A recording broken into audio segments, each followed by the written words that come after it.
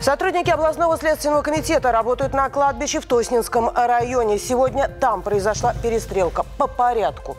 К жителю поселка Рябово пришли двое коллекторов. Пришли требовать деньги. Мужчина был должен банку 140 тысяч рублей. Пенсионер, предположительно, начал стрелять из ружья. В одного попал. Очевидцы услышали и вызвали полицию. Увидев наряд, мужчина бросился бежать. Настигли его на погосте местного кладбища. Он открыл э, огонь по сотрудникам. На уговоры не шел. Полицейские были вынуждены применить табельное. Пенсионер скончался от ранения.